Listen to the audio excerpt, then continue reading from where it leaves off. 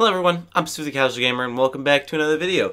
In this video, I want to explain something that's been bothering me a lot, which is the reviews for State of Decay 2. They've just been bothering me. Now real quick, some of you have been asking when I'm going to live stream it. I actually live stream it on DLive, so if you check the description to Steemit, Steam it's connected to DLive, so you can just go ahead and click that. You'll figure it out, you just follow me, I'll be streaming every once in a while.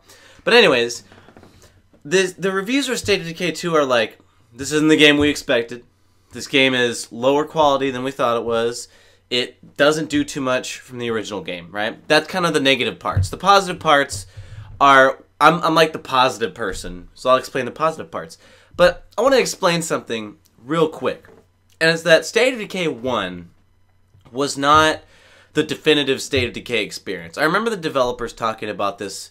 I want to say it was on a live stream, but it might have been some interview um, they did a long, long time ago when they made I think year one edition, maybe even before year one, and it's that State of Decay two would be the game that they originally wanted. Because State of Decay one, if you remember, on Xbox 360 they said that there was a limitation to what they could put into the game. I believe it was two gigabytes they were allowed to put into the game, and because I remember whatever gigabyte limit they set was two, ten, whatever.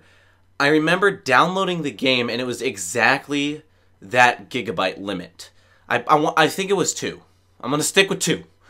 So, with the two gigabyte limit, there was only so much they could do.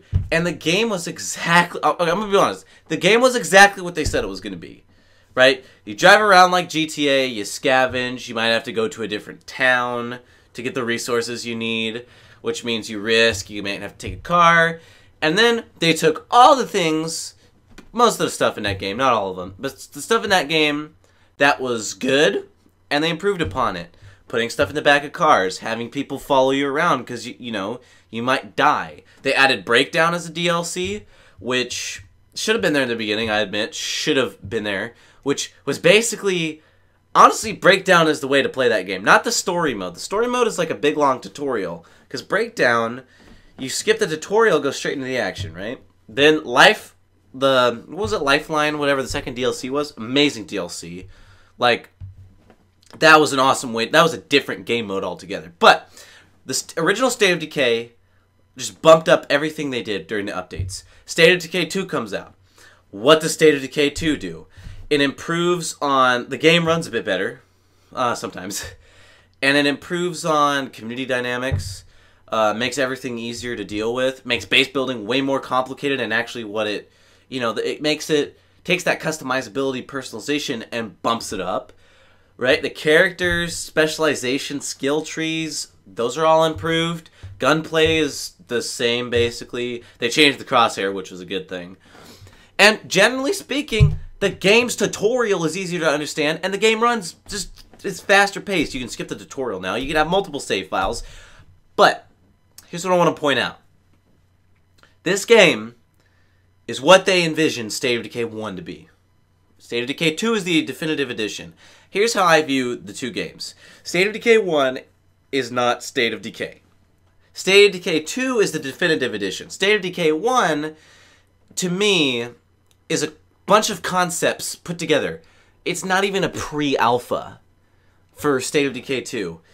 It's like, hey, we're inexperienced develop. I don't know how inexperienced Undead is. This is our first game. We're gonna build it. They learned from it.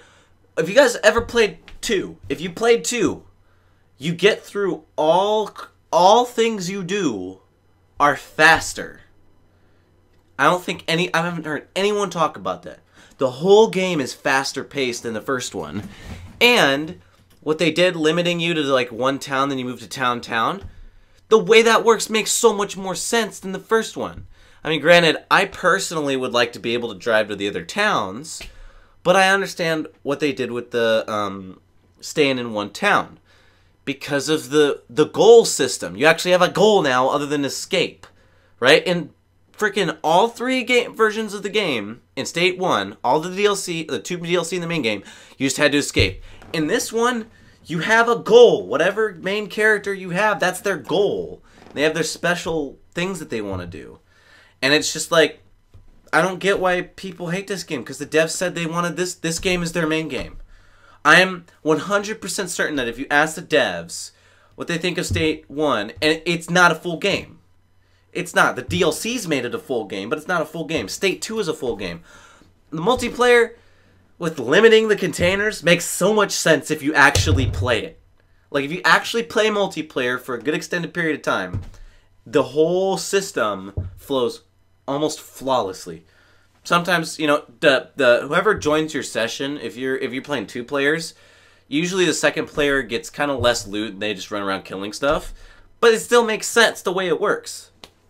So, I want you guys to remember this also. State of Decay 2 is not a $60 game, it is a $30 game. And my general rule of thumb is if I buy a video game, um, if it is meant to be played for a long period of time, such as Call of Duty, Battlefield, State of Decay 1, um, and it's not a story based game, such as, you know, any of the Walking Dead games, really, and uh, Kingdom Come Deliverance.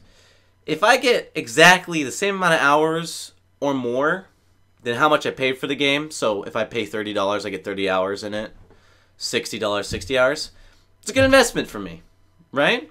A dollar an hour for fun. I mean, think of a movie. If you rent a movie on Amazon, it's like $4 for a two hour movie. It's pretty good if you think about it. And if you're not renting a video game, you get to keep it forever. Maybe one of your friends wants it. You give it to them for $15. I mean, I don't have it on disc, I have it on Game Pass, but you give it to them for half the price, then you only paid 50 cents an hour. Right? So I want everyone to remember that State of Decay 2 is the way that the devs wanted the original State of Decay to do, and State of Decay 1 should not be used as a baseline for what these games should be. State 2 should. I've always thought State 2 should be the baseline for what these games should be, not ever State 1. So let me know what you guys think in the comments below. I, I, I love this game. I love it way more than the first one because the first one I wanted to play it more and it was missing all the features that the second one makes, you know, fun. I still, it's it's awesome. So opposite the casual gamer, I suck just as bad as you do at video games, and I will see you in the next episode, stream, vlog, or Steemit post of whatever I decide to make. And one reminder, I do live stream on DLive. Once I get my Amazon business set up, I'm not going to be streaming on DLive as much because I'm not going to need to so much. So I'll probably go back to YouTube. Just letting you guys know.